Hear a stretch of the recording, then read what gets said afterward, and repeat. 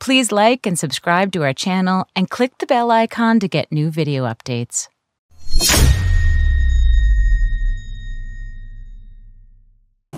At midnight tonight, Uganda shall become independent. We shall have a Uganda flag, a national anthem, and coat of arms. These will be our symbols, but independence does not begin and end with the selection and raising of a flag, the singing of a national anthem, and the display of a coat of arms. Our independence shall mean great responsibilities for all of us without exception.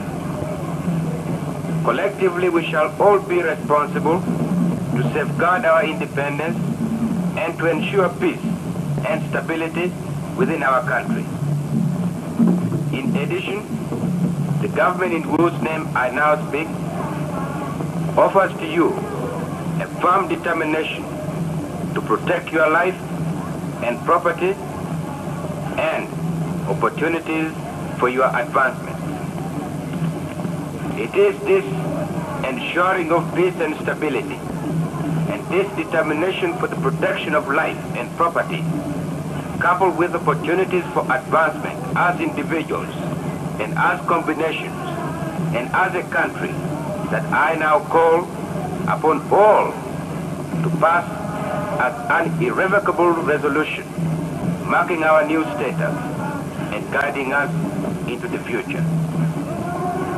Let us add to that resolution that we are of Uganda and Uganda is ours. Let us remember and pay our tribute to those friends from inside and outside Uganda who have helped us on our way to independence. Let us remember the best we have received and now inherit from the British administrations. I also ask all to give the missionaries, past and present, a special praise for the life they brought and do still maintain. I cannot forget our men of commerce and industry, and also our peasant farmers and the working men and women. Our ability to have a higher standard of living will depend, as in the past, on their success, security, and happiness. I pray to God to give us in our country the will to safeguard our freedom and to serve our country in peace.